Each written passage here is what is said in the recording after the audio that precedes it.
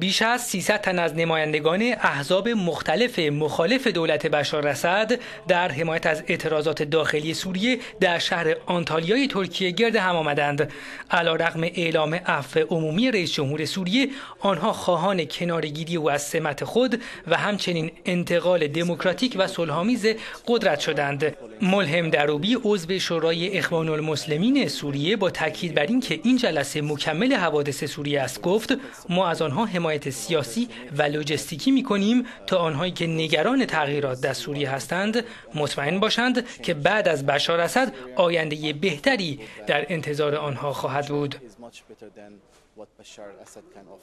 علیرغم اینکه پلیس ترکیه تدابیر امنیتی ویژه‌ای را در اطراف هتل محل برگزاری این کنگره برای حفاظت از آنها در مقابل حملات طرفداران بشار اسد اتخاذ کرده بود تصاویر ارسالی از خبرنگار یورونیوز حاکی از برخوردهای بین هواداران و مخالفان بشار اسد بوده است از دو ماه و نیم پیش تا کنون حداقل 1060 نفر جان خود را در شورش های مردمی در سوریه از دست داده اند.